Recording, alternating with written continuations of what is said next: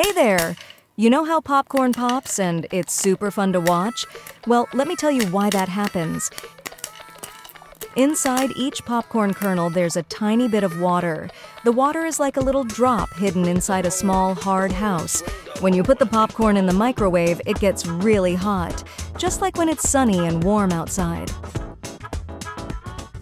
As the kernel heats up, the little drop of water inside also gets hot. It turns into steam, like water, but all airy and fluffy. But here's the cool part. The steam needs more room than the little drop of water did. Imagine you're in a tiny room and suddenly need more space to dance around. That's what happens to the steam. It starts pushing on the walls of the popcorn kernel because it wants more space. But the kernel is like a strong, tiny house that doesn't want to break. The steam keeps pushing and pushing until finally, the kernel can't hold it anymore. Pop! The kernel explodes and the steam comes out. This explosion turns the kernel inside out, which makes the fluffy white popcorn you eat. So, every time a popcorn pops, it's like a little steam party happening inside. And when it gets too crowded, they burst out and we get to eat them. Isn't that cool? Uh, all right, so you know how popcorn pops in the microwave because of the tiny bit of water turning into steam? It's like a mini explosion inside each kernel. Well, other fun things happen like this with different foods. Popcorn. We talked about this one. The water inside turns to steam and it pops when it can't fit anymore. This process is why we get fluffy popcorn. Puffed rice cereal. This is like popcorn's cousin. Rice grains are cooked, dried, and then heated up really fast. This makes the little bits of moisture inside the rice turn into steam quickly. Like popcorn, the steam puffs up the rice, and we get puffed rice cereal. It's like tiny pillows of rice.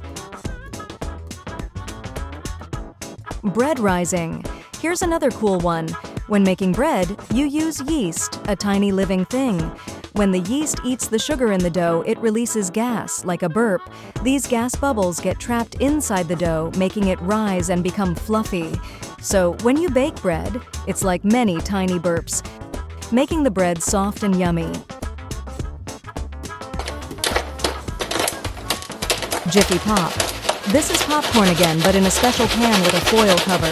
When you heat it on the stove, the kernels pop like in the microwave. But here, the foil expands and grows like a giant silver bubble. It's like watching a balloon inflate. Roasting marshmallows. Have you ever roasted marshmallows over a fire? Inside the marshmallow, there are tiny air pockets. When you heat it, these pockets get hot and expand, making the marshmallow puff up and gooey and delicious.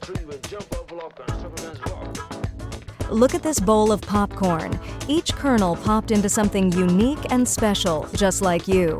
Remember, with some knowledge and a sprinkle of curiosity, you can discover amazing things. Now, next time you're snacking on popcorn or watching bread rise in the oven, think about the incredible science that made it all happen. And remember to share these fun facts with your friends and family. They'll be super impressed. That's all for today, my popcorn scientists. Remember to like, share, and subscribe for fun adventures in the kitchen and beyond. Stay curious, and I'll see you next time for another exciting journey into the world of food and science.